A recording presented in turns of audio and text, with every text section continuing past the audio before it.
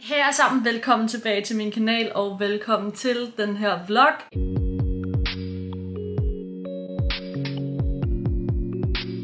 I dag har jeg altså tænkt mig at vlogge, fordi det er min første fridag i den her uge. Og derfor har jeg lavet en masse planer. Og det er bare typisk mig, når jeg egentlig også bare burde slappe af. Men jeg skal faktisk ud af døren her om cirka 6 minutter. Jeg skal lige have pakket min taske, gjort mig færdig. Og så skal jeg faktisk mødes med min gode veninde Katrine. Jeg har faktisk ikke set Katrine i virkelig, virkelig lang tid. Jeg så hende lige inden jeg skulle på Roskilde Festival, da de kom og surprisede mig efter jeg var færdiguddannet. Vi har aftalt, at vi vil tage vores cykler og cykle til Krammergården. Jeg har faktisk ikke været ude på Krammergården i sindssygt lang tid. Jeg havde jo en stand derude for mange år siden. Og det minder sådan lidt ligesom Litkøb, hvor man kan lege en stand og sælge sine ting. Det er bare sådan lidt mere, husker jeg, boligrelateret. Der er stadigvæk også tøj, men slet ikke på samme måde, som der er i Litkøb. Og det passer jo perfekt til min lejlighed. Så jeg håbede lidt, at jeg kunne finde nogle fede sådan genbrugsboligting. Men nu må vi se. Det er jo altid lidt svært, når man skal shoppe genbrug. Men jeg håber i hvert fald helt vildt meget, at jeg har lyst til at se med i den her vlog. Jeg tænker, det bliver sådan en rigtig sommerpraktisk fridag. Men som sagt, jeg skal altså lige have pakket min taske færdig.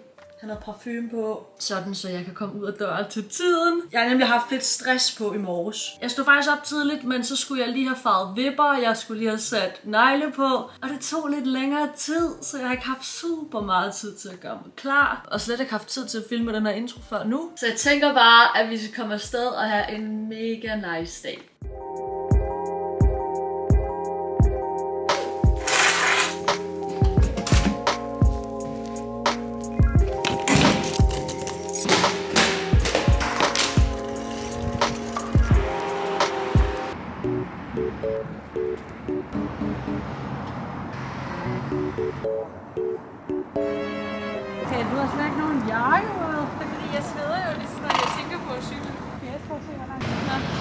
Vi vlogger, ja. Hej vlog. Efter 7 km. Jeg har cyklet 7 km. Jeg ved ikke, at du har cyklet. Så er vi altså kommet til Krammergården Dragør, genbrugsmarked.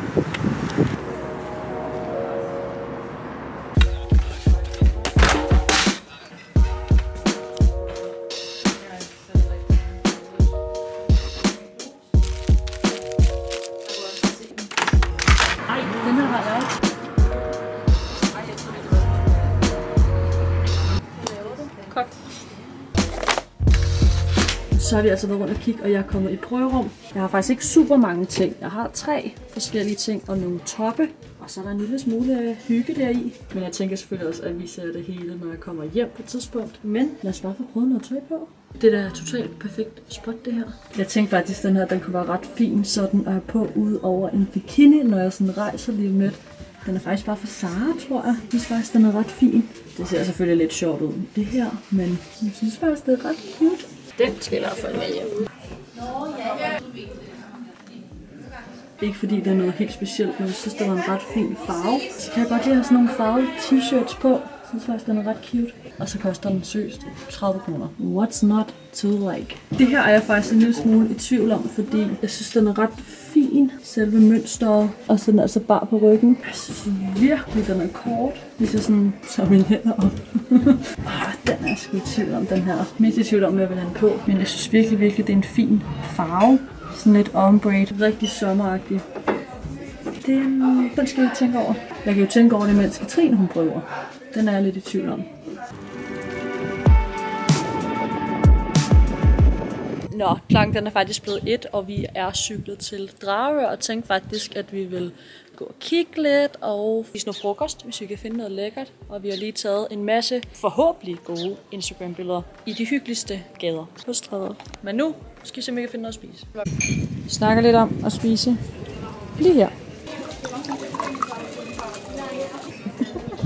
Good. Thank you. Oh.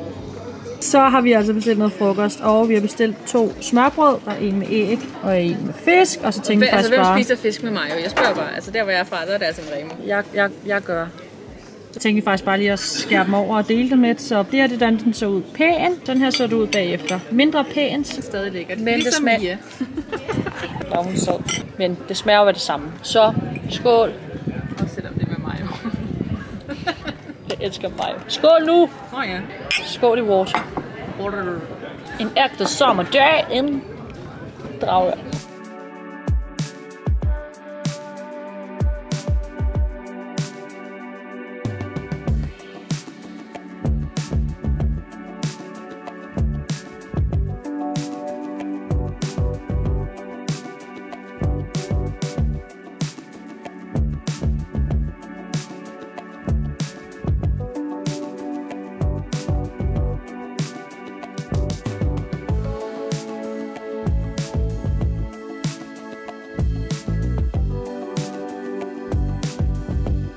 Nu har vi altså lige været inde og købe en lille iskaffe, og jeg har faktisk ikke øh, smagt den endnu. Så taste test. Smagte faktisk meget kaffe lige der. Jeg kan ikke smage karamellen. Altså, jeg er jo blevet ret stor øh, iskaffe-fan lige for tiden, så sådan, det er sgu okay, så får man lige en lille wake-upper. Og jeg har faktisk ikke drukket så mange energi, energidrik, som jeg plejer. Men øh, nu går vi faktisk bare sådan lige lidt rundt. Jeg føler faktisk, at vi har set sådan det meste af Dragør. Dragør er super hyggelig om sommeren. Havnen er super hyggelig. Så mange hyggelige små caféer. Men det er ikke så stort. Så nu går vi bare lidt rundt, så vi finder nogle fede spots. Der er to trillebøger der, for eksempel. Det kan jo også noget. Det kan være, der er folk fra København, der aldrig har set det. Det hedder en trillebør, venner. Så fik jeg altså lige cyklet 9 km.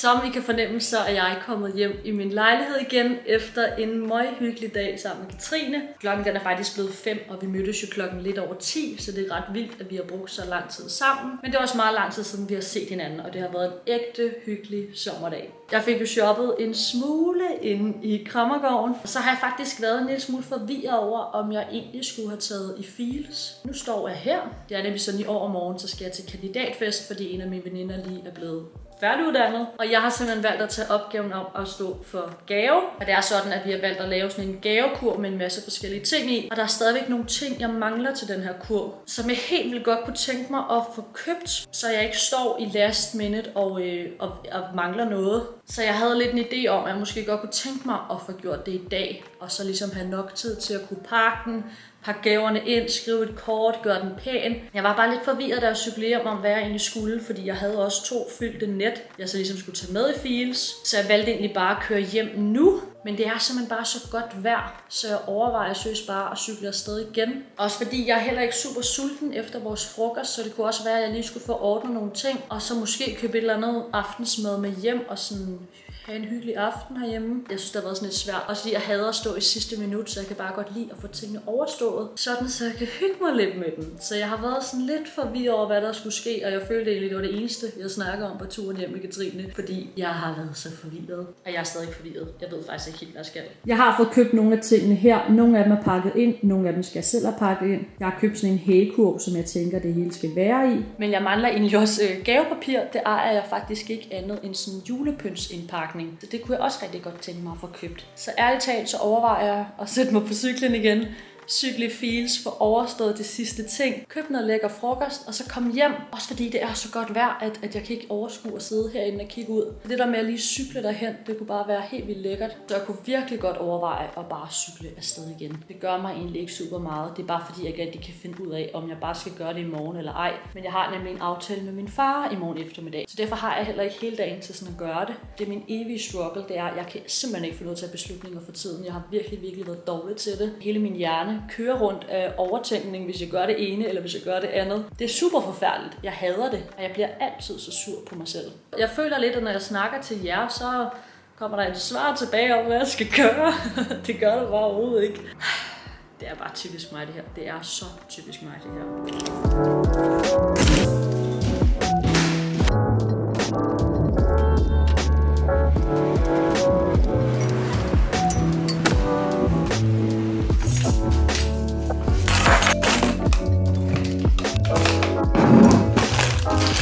Så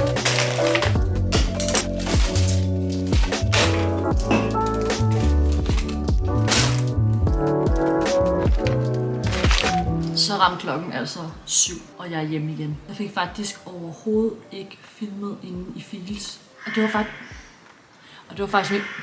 Og det var faktisk mest fordi, at der var overdrevet mange mennesker. Så jeg tænkte faktisk bare, at jeg ville gå ind og finde de ting, som jeg ligesom manglede til den her gavekurve. Og jeg håber lidt, at den er færdig. Så har jeg altså købt Sunset aftensmad på vejen hjem. Det er sgu meget lækkert. Jeg har faktisk en lille smule hovedpine. Jeg har haft nogle problemer med en af mine piercinger, som øh, Katrine lige hjalp mig med i dag. Og det gjorde bare, at jeg har haft en lille smule hovedpine i løbet af dagen. Så jeg tænkte egentlig, at jeg ville sætte mig herud. Lige slappe lidt af på min elskede altan og spise min aftensmad. Jeg elsker Sunsets pomfritter. Købt tre chili cheese tops, og så har jeg købt en tuna, en tuna sandwich. Mm. Men jeg vil altså lige få spist noget mad, og så tænker jeg lige at lave et lille haul på, hvad jeg købte inde i Krammergården i dag. Og så lige vise jer, hvad jeg har købt til den her gavekur, og prøve at se, om jeg kan få den sådan klar. Så kan jeg nemlig se, om, om alt det, jeg har købt, kan udfylde kurven. Og nu skal jeg bare slappe af. Uh-huh. Nå venner, jeg tænker altså, det er på tide, at jeg lige får vist jer, hvad jeg købte inde på Krammergården i dag. Nu har jeg trukket dem længe. Det er alt sammen i den her. Jeg var faktisk ret overrasket over, hvor mange ting jeg fandt. Det er jo altid meget svært, især når man shopper genbrug. Nogle gange finder man helt vildt mange ting, nogle gange finder man ikke noget. Men jeg synes faktisk, at jeg fik en solid, god håndfuld i dag. Det første, jeg købte, er faktisk øh, slet ikke til mig fordi jeg købte de her beerpongbolde, som jeg faktisk ville proppe i den gavekog, jeg skal lave. Det synes jeg var meget sjovt, og de kostede 10 kroner. Så fik jeg simpelthen købe den skaldede frisør. Den kostede 5 kroner. Jeg elsker den her film. Den er meget god. Jeg er jo kæmpe DVD-fan. Så den tænkte jeg øh, lige, jeg skulle have med i samlingen. Så købte jeg jo den her top, som jeg også viste jer derinde. Jeg valgte altså at købe den, fordi jeg synes faktisk, at selve sådan printet var helt vildt sødt. Jeg kunne helt vildt godt forestille mig han på, nu når jeg skal på ferie, lige om lidt. Og så kan jeg rigtig godt lide den her bare ryg, og så kostede den altså 60 kroner og var aldrig brugt. Så jeg tænkte, at jeg nok skulle få en lille smule gavn af den. Så købte jeg faktisk et par højhældede sko. Og hvis man har set en af mine seneste videoer, som er mit samlede sommerhaul, så ved man, at jeg er pisse dårlig til at gå i højhældede sko. Men jeg kunne rigtig godt tænke mig at lære det. Så hvilken måde er ikke bedre end at købe et til et par højhældede sko?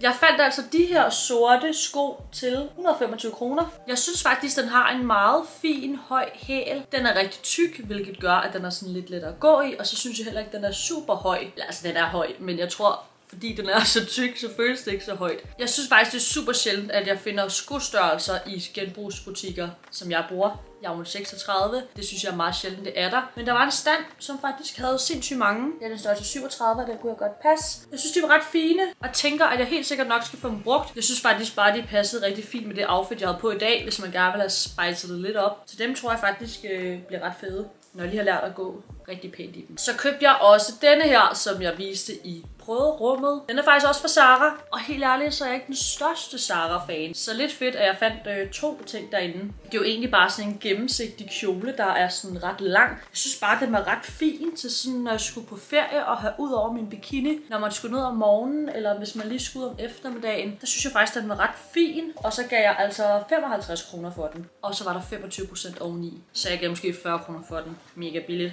Så købte jeg faktisk to af sådan nogle top BH'er-agtig. Det var faktisk også den samme stand som skoene. Mega fed stand. Der fandt jeg jo tre ting. Det er jo egentlig bare sådan nogle BH'er uden stropper. Og det er bare fordi, at når jeg endelig går med BH, så er det sådan nogle her. Og jeg synes også, de er mega fede at sådan chille rundt i. Den ene her er fra noget, der hedder Copenhagen. Kender jeg faktisk overhovedet ikke. Den gav jeg 60 kroner for. Den sad så fint. Den er så sød. Den anden er faktisk fra Pieces i størrelse large, hvilket den overhovedet ikke er. Altså overhovedet ikke er. Men den gav jeg altså 40 kroner for. Og jeg synes, det er meget fint. Den har de her sådan meget tynde stropper. Sådan. De sad bare begge to rigtig godt. Det sidste tøj, jeg købte, var altså den her. Den kostede 30 kroner og var fra H&M. Jeg synes faktisk bare, at farven var helt vildt sød. Og så kan jeg godt lide at have sådan nogle farvede t-shirts ser til sommer. Det kan jeg altid bruge. Så købte jeg faktisk det her Fjord Skandinavisk øh, duftelys. Det kostede 30, 40 kroner. Det dufter helt vildt godt og er bare meget rart at have, især nu, når jeg har fået lidt større lejlighed. Så købte jeg faktisk bare sådan nogle små sølv hoops. Der var tre stykker i, så faktisk seks stykker. Der var tre øreringe. Der var seks små hoops i til 30 kroner. Det synes jeg var ret billigt. Og så tænker jeg faktisk, at jeg godt kunne tænke mig at tage sådan nogle her i, når jeg skulle på ferie. Og det sidste, jeg fik købt, var altså sådan nogle her to Lyngby fyrfadslysholdere. De kostede 35 kroner per styks. Der var en i den her super fine grønne farve, og så en i den her lyserøde en. Jeg synes faktisk bare, at de var super fine. Jeg kunne rigtig godt lide farven, og tænkte, at de kunne være ret fine at have stående et sted, også fordi jeg har ret mange af sådan nogle fyrfadslys, men jeg har ikke så mange holdere, eller hvad man kalder det, at sætte dem i. Så det her, det synes jeg faktisk var, øh, var et godt deal. To for 70 kroner. Og det var faktisk alt, jeg fik købt. Jeg synes, jeg fandt ret mange fine ting. Jeg tror alt, jeg gav omkring 500 for det, og det synes jeg faktisk var okay i forhold til, hvad jeg har fået. Jeg tror lidt, at jeg bliver nødt til at øh, rode lidt op i min lejlighed. Øh, en smule. Lige nu der ser min seng altså sådan her ud. Der er de ting, jeg lige har vist jer, og så er der noget vasketøj, jeg skal have vasket. Så er der bordet, som også bare lige skal gøres lidt rent. Der er vasketøj derovre. Det har stået der et par dage. Og så er der faktisk bare lige de ting, som jeg fik købt i dag i Fields. Det jeg var mest på udkig efter, det var faktisk et smykke. Og det jeg rigtig godt ville have der, var der ikke. Så nu har jeg altså bare lavet et mega sats og købt et smykke, som jeg håber falder en lille smule i god jord, ellers så må det jo byttes. Og så fik jeg altså købt noget pakke ind papir eller gavepapir, også noget sylifat, eller hvad hedder det, clearfolie. Det er egentlig meget fint at have, når man skal lave en gavekurv. Jeg fik købt de her genanvendelige vatmodeller, det tænker jeg, alle kan bruge. Lidt funny øh, flaskeåbner. Vi har lidt sådan en øh, kærlighed til flamingoer i vores Roskilde Camp, så jeg synes, den var ret fin. Jeg fik købt en plante, det tænker jeg egentlig, alle kan bruge. Og lidt intern joke, så fik jeg købt en vodka og noget saftevand. Og som jeg viste tidligere, så er der sådan nogle forskellige ting herinde. Jeg fik købt nogle ting inde hos Rituals, som jeg lige skal have sådan pakket ud og sat pænt. Jeg har fået købt nogle boligting inden for bane og magasin, som er de, der er her. Jeg har købt nogle snurrede lys, som jeg også tænker skal pakke ind på den ene eller den anden måde. Der er et lille kort, og så har jeg altså også købt to af de her glassugerør. Det skal lige siges, at der er slet ikke blevet lavet nogen ønskeliste, så jeg har 100% lavet sats på alt det, jeg har købt, så jeg håber bare, at der er et eller andet, der falder i god jord. Men jeg har lidt prøvet at holde mig til nogle ting, som jeg tænker, de fleste kan bruge eller kan lide, eller så kan du altid byttes. Hun har samtidig også lige fået en ny lejlighed, så jeg tænkte, at jeg vil prøve at købe både nogle boligting,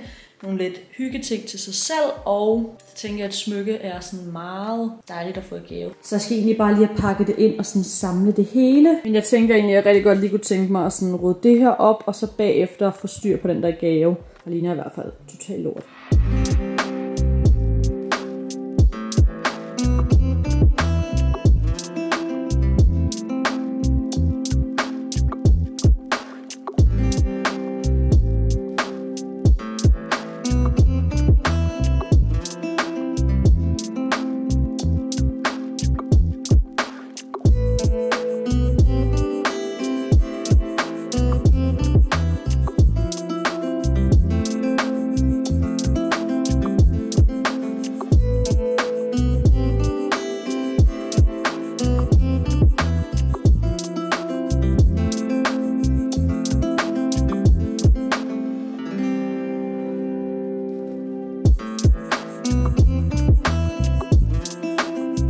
Venner, nu har jeg altså fået ryddet en smule op. I hvert fald det, jeg gerne ville. Og så har jeg altså siddet de sidste par timer og fået lavet min gavekurv. Lige nu ser den faktisk sådan her ud. Jeg synes måske, den er lidt rodet. Jeg tror også, jeg kommer til at købe en lille smule for meget i forhold til, hvor lille kurven er. Jeg har i hvert fald fået sådan en gavepose med til de Rituals produkter, jeg har købt. Den var der altså ikke plads til, så nu har jeg selv pakket dem ind. Jeg tænker lidt, at jeg vil proppe det her folie hvad det nu hedder, ud over den, sådan, så man ligesom har den lukket, og så sætte et lille kort. Jeg havde faktisk tænkt, at jeg måske ville sætte nogle breezes eller noget slik i. Men jeg føler faktisk, at den er okay. Også fordi jeg allerede en smule nu er gået over det budget, jeg sådan har sat. Og det er bare typisk mig. Så jeg føler måske, at det er sådan her, den bare skal være. Og øh, så håber jeg, som sagt, der er bare noget, der falder i god jord. Fordi at alt sammen har jeg bare købt sådan lidt random. Men altså, jeg tænker også, at det jo er tanken, der tæller. Jeg vil i hvert fald bare lige lade den stå, og så vil jeg få skrevet mit kort i morgen. Fordi jeg er en smule træt, og klokken den er faktisk blevet halv 10. Hvor fanden blev tiden af? Så jeg tror faktisk bare, at jeg lige vil få cleanet bordet, og så øh, lægge mig ind i min seng. God plan synes jeg selv. Nå, nu er jeg altså lige hoppet i noget lidt mere afslappende tøj. Mega rart. Og jeg tænkte faktisk, jeg er ikke helt sikker endnu, men jeg tror lidt, at det jeg vælger at tage på til den her kandidatfest på lørdag er et grønt sæt. Jeg tror måske lidt, jeg vil have det her på. Jeg er ikke helt sikker. Men det er faktisk et sæt, jeg føler mig sådan meget komfortabel i. Så tror jeg måske, at jeg enten tager en sort eller hvid sådan tanktop tanktop. Sort eller hvid top inden under. Så jeg er lidt i tvivl, om jeg egentlig skal tage de høje sko på, jeg købte i dag, eller jeg skal bare tage hvide sneakers på. Det er også fordi, jeg kan ikke rigtig finde ud af, sådan lige nu i mit hoved, hvad øh, stemningen bliver. Om det bliver sådan meget casual, så kommer jeg måske til at være overdressed med det, jeg har i tanken lige nu. Så jeg ved det sgu ikke. Jeg tror også bare, det er fordi, jeg rigtig godt kunne tænke mig at gå i de her høje sko. Men måske holder jeg mig bare til sneakers. Det må vi finde ud af. Jeg tænker i hvert fald at tage det her på, og så skal jeg faktisk til Grøn Koncert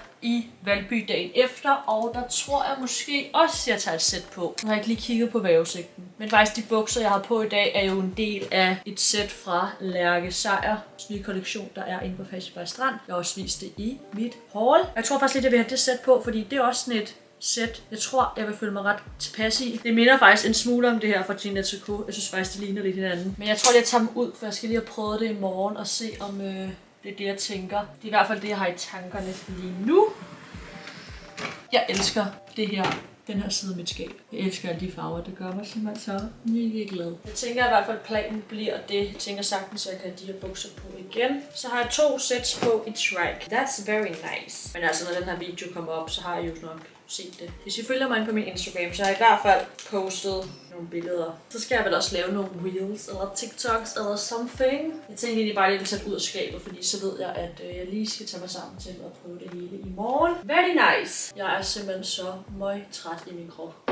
Altså, jeg, jeg føler også godt, at jeg kan tillade mig at være en smule træt, for jeg har altså formået at cykle 26 km i dag og gået 12.000 skridt. Det kan jeg også noget. Det har i hvert fald været en mega skøn dag. Jeg synes virkelig, den har været hyggelig. Jeg er så glad for, at jeg faktisk valgte at tage feels, fordi nu har jeg bare lettet en sten for mit hjerte, at jeg ikke skal gå og tænke på det hele aften og dagen i morgen. Mest fordi, hvis nu de ting, jeg ikke skulle have, ikke var der i morgen, så ville jeg virkelig føle mig sådan presset, så jeg vil hellere få det ordnet i dag. Og jeg føler ikke, at jeg mangler noget andet end at skrive det her kort, så det er bare mega, mega rart, at jeg kan tage det en lille smule stille og roligt i morgen. Men jeg tænker faktisk ærligt at øh, slutte den her vlog af, fordi nu skal jeg ærligt talt bare ligge i min seng og stene noget serie. Er det lidt trist, hvis man har set Stranger Things færdig, og nu ser reaktionsvideoer på andre der skal se den for første gang. Det er i hvert fald det, jeg gør lige nu. Jeg er ikke kommet over den serie, så jeg bliver simpelthen nødt til at se andres reaktioner på den her serie. Det er så fucking nice. Jeg elsker det. Men jeg håber helt vildt meget, at I har nydt den her vlog.